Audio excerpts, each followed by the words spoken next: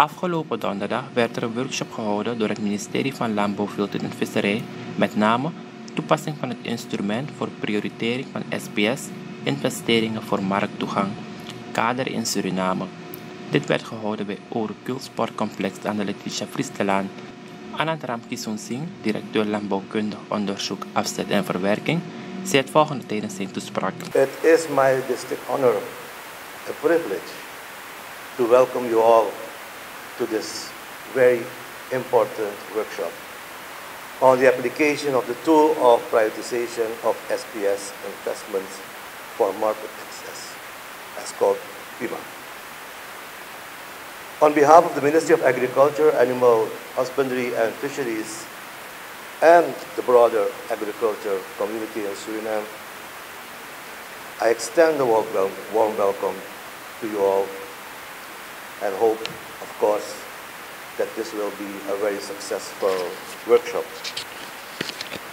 As many as you are aware, this workshop is hosted through the collaborative efforts of the Caribbean Agriculture, Health and Food Safety Agency, CAFSA, and the Surinamese Agriculture Market Access Project, SUMUP, with very good facilitation from the European Union and the Food and Agriculture Corporation organization. This gathering is a testament of our collaborative commitment to fostering the growth and resilience of Suriname's agriculture sector, particularly as we seek to enhance our market access capabilities both regionally and internationally. Sanitary and phytosanitary measures are very crucial for ensuring that our agriculture exports meets the highest standards of quality and safety, opening also new opportunities for our producers and boosting our nation's economic potential. Today, we'll delve into the PIMA framework, a tool rooted in evidence-based prioritization, strategic resource allocation, and highest impact on decision making. It's a methodology that guides us to invest wisely, ensuring maximum return and building capacity where it really truly matters.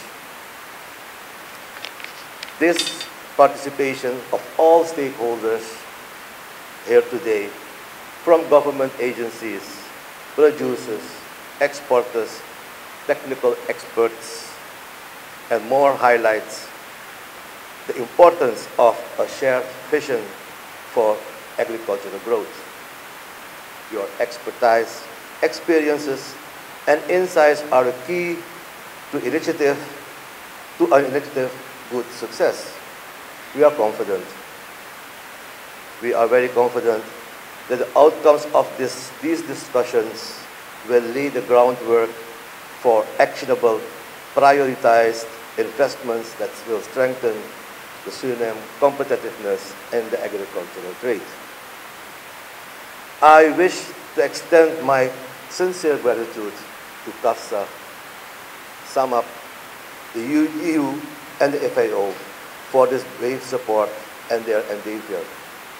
Your partnership continues to be a beacon of progress for agricultural health and food safety in our region. I want also to speak in Dutch because I think it's uh, better for us. Dames en heren, sanitaire en fytosanitaire voorwaarden geven ons toegang tot onze exporten.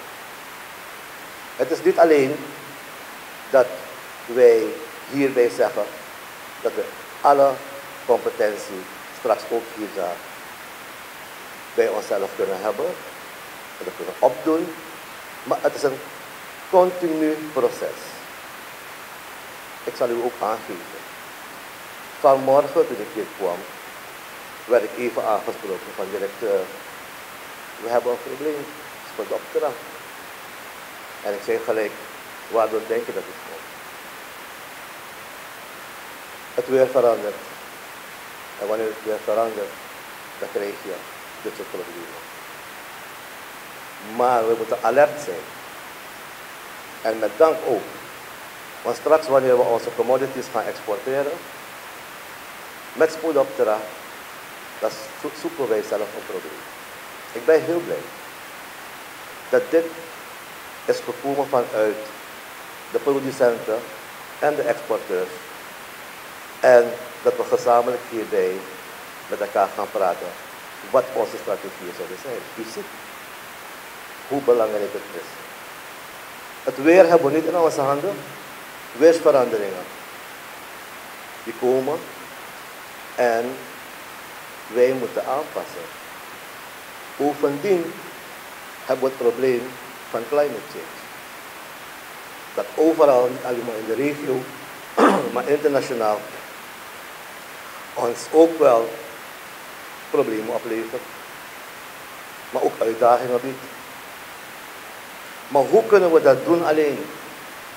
Dat gaat niet lukken. Gezamenlijk strategieën afspreken en gezamenlijk werken, kunnen we ervoor zorgen dat we onze voedselveiligheid kunnen garanderen. Dames en heren, het is een bijzondere uitdaging. Maar aan de andere kant ook wel dank aan de organisaties die ons bijstaan in het proces.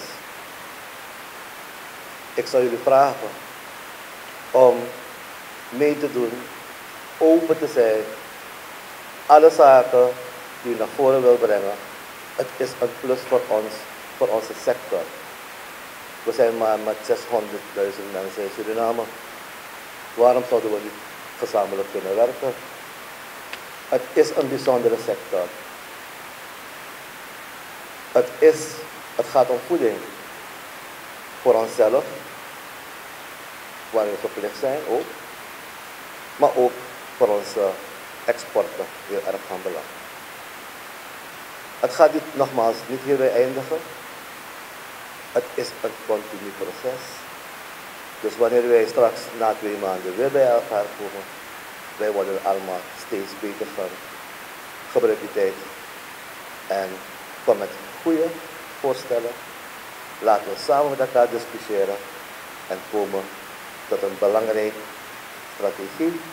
U heeft gehoord dat het al een strategie is dat in twee landen succesvol is geweest. Ik dacht in Belize en nog een land. Waarom zou het bij ons niet kunnen? Misschien aangepast, want we zijn geen Belize. Maar het zal een goede strategie uit zijn. En ik kijk zelf ernaar uit wat het nieuwe is daarin. Wat is eigenlijk nieuw in deze strategie? Het zal bijzonder zijn. Voor jullie ook een mooie openbaring. Dames en heren. Wil ik jullie bedanken dat jullie hier zijn gekomen om capaciteit op te doen. Dat is heel erg belangrijk. We hebben steeds een tekort. Maar dit zijn de momenten waarbij je met elkaar kan praten met internationale experts die ons zullen kunnen helpen. Ik wens voor deze workshop u allen heel veel succes toe. En laten we gezamenlijk ervoor zorgen dat onze voedselveiligheid gegarandeerd is.